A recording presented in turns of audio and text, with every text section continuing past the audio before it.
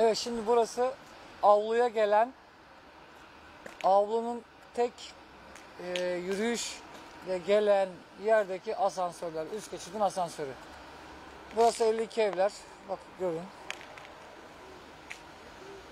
Yaşlı, özürlü bir engelli bir kişi gelse bu avluya demek ki giremeyecek. Asansörler çalışmıyor. Asansörler bozuk. Bakın karşısı da aynı. Burası avluya giren asansörler.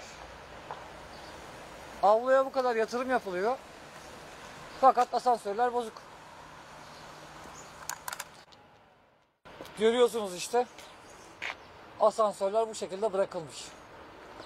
Burası avluya giden üst geçit.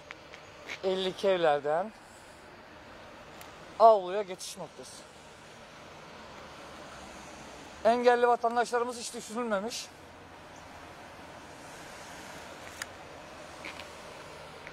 Bak. Hep beraber gidelim. Evet çok geniş, güzel. Bayağı yatırım yapılmış ama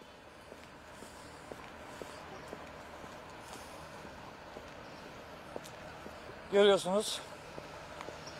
Öbürki asansör gibi. Onun karşısındaki asansör de bozuk. Hiçbir şekilde çalışmıyor. Yazık değil mi buraya yapılan yatırıma?